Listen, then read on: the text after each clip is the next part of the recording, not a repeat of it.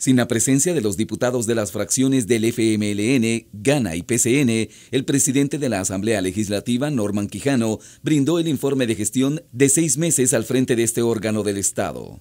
Quijano destacó la reducción del gasto en más de 2 millones de dólares, lo que representa una disminución equivalente a 3.6% del total del primer semestre. La Asamblea dejó de ser la agencia de viajes que fue en el pasado donde los diputados se subían al avión sin estar invitados, invitaban a uno, pero iban siete. Eso pasó a la historia.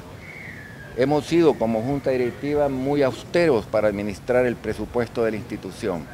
Hemos pasado de tener una asignación por el orden de 78 mil dólares mensuales, por ahí andamos, no tengo los papeles aquí a la mano, de 78 mil dólares mensuales en boletos aéreos y viáticos hemos pasado a gastar un promedio de 18 mil, 19 mil dólares. El presidente del Poder Legislativo reconoció que la Junta Directiva ha acompañado muchas de las decisiones que han marcado los primeros meses de su gestión. Al mismo tiempo, anunció nuevas medidas para el segundo semestre de su mandato, entre ellas continuar con la austeridad en los gastos, revisión de salarios y plazas de empleados que no sean necesarios. Buscaremos reducir aún más el número de plazas.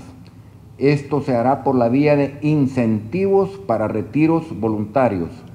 Haremos un estudio de auditoría de plazas y salarios para seguir un proceso ordenado de ajuste. Vamos a sostener la política de austeridad la meta para el próximo año es un ahorro del 10% en la compra de bienes y servicios. Finalmente, Quijano aseguró que se compromete a seguir evitando el despilfarro de viáticos, viajes, consumo de líneas celulares, horas extras, entre otros, con el objetivo de ahorrarle al Congreso salvadoreño presupuesto que se pueda invertir en otras necesidades del país. Con imágenes y reportes de Héctor Burgos, este es un informe de la.